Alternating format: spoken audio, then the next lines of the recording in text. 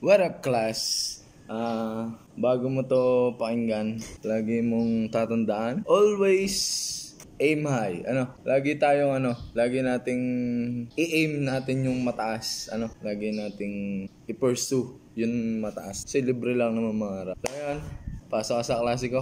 Bawal malate. Let's do this.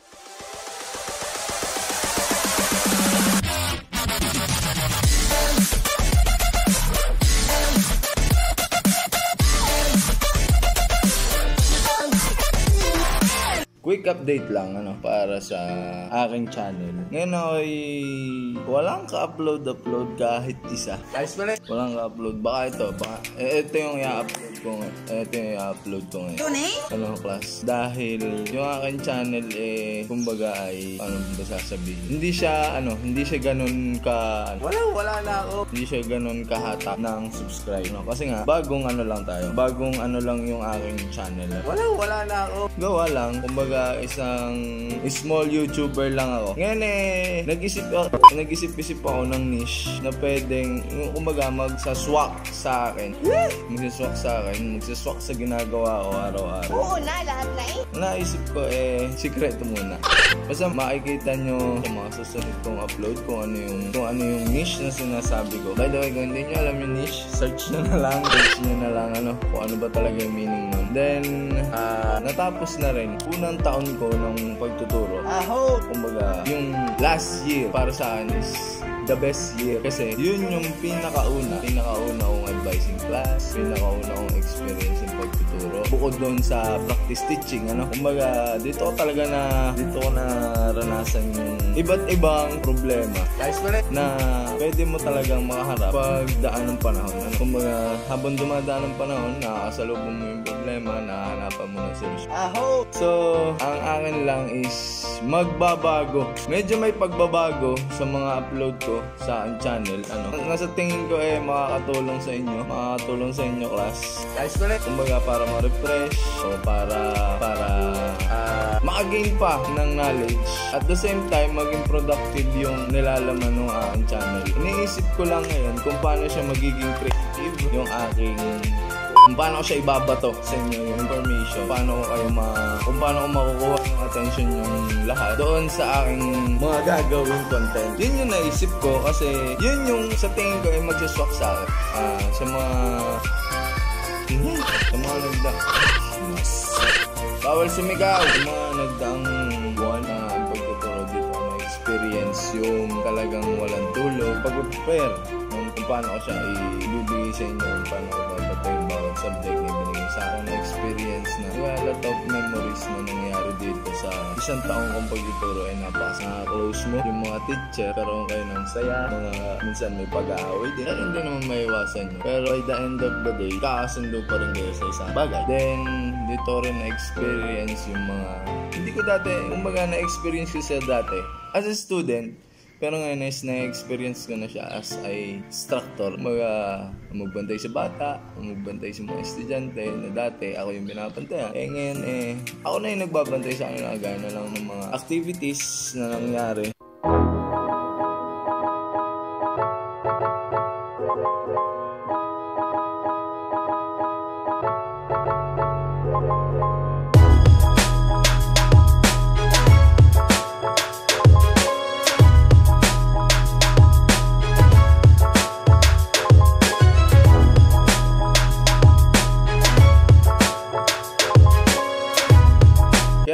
Ganito tong vlog ko ngayon. Eh, yun nga, naisip ko yung mga dapat, mga dapat na baguhin sa akin channel. Ano, class. Kaya mga na-experience ko sa isang taong pagtuturo, eh, napakasaya. Ang daming activity, mga gawain na hindi mo akalain na hindi ko akalain magagawa ko. Mga side trip na kasama yung mga co-teacher mga side trip na aakit ng bundok, pupunta sa ganto, pupunta sa ganyan. Napakasaya na nung pas na pagtuturo. Sana ngayon, sa pagpasok ngayong taon na to, sa pangalawang taon na ang pagtuturo, eh, this is the next chapter of being a teacher. Ano, this is my next chapter sa pagiging guro. Asahan nyo na, asahan nyo na magiging makabuluhan yung panonood nyo sa mga darating kong content class.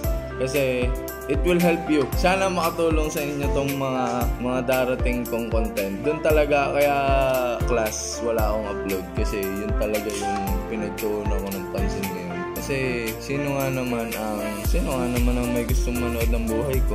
Wala naman, 'di ba?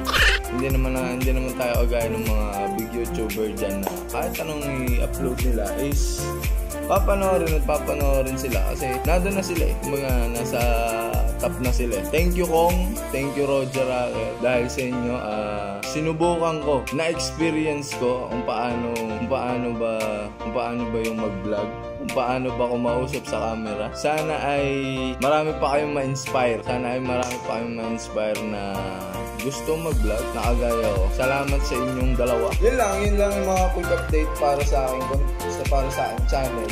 And then yung mga hindi ko na i-upload eh baka siguro pag may time i-upload ko siya yung mga pagkakit namin ng mundo yung mga side trip na nakakasama yung mga co-teachers ko eh baka ma-upload ko na rin yun ano So yung class, hindi ko na pahabain tong kwento kasi sabaw na sabaw pa si Sen. Salamat sa, umaga, salamat sa unang taon. Salamat sa unang taon ng pagsasama nating lahat. Sa susunod ulit, this school year, magsasama-sama ulit tayo. Pero iba na.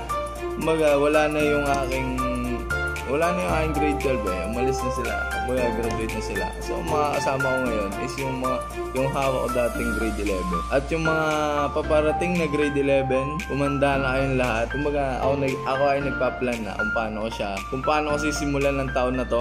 Sa mga nakasama ko, sa mga na naging co-teacher ko sa mga tumulong sa akin kung, pa, kung paano ma-survive sa unang taon na to. Maraming maraming salamat sa inyong lahat. Hindi ko na kayo babanggitin ni sa isa at baka may maligwat pa ay magtampo. Kung mapapansin niya, nagpatasa na. Nagpatasa na si Sir. Ayaw ko na nung ano, mahabang buhok. At talagang hindi ako, mga hindi ako payagan. Mga siguro dito sa pinili kong profession eh, hindi talaga pwede. Hindi talaga pwede yung mahaba ang buhok. So class, may mga sisingit pa rin namang about sa akin. Pero mas, mas bibigyan ko ng priority yung naisip kong niche. Yung naisip kong content na ilalagay ko sa channel ko. Ano? Mas bibigyan ko ng focus para mas ma i-deliver ko siya ng ayos sa inyo. Ano? So class, tapos na ang ating klase ngayong araw na to. Sana ay sana ay patuloy kayong sumuporta sa akin bilang isang maliit na YouTuber. Ah, sana ay tuloy-tuloy ang pagsuporta sa akin. Please like, share, and subscribe. Please naman, mag-subscribe naman kayo sa channel ko.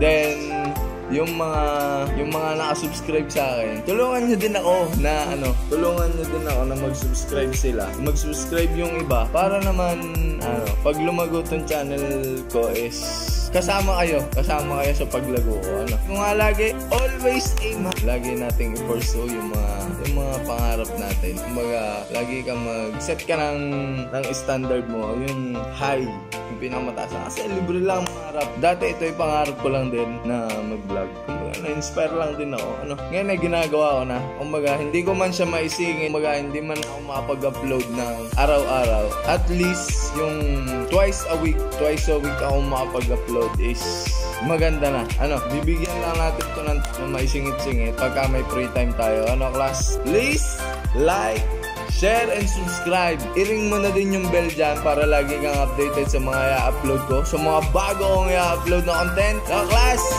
Dismiss! Arroz! Uh!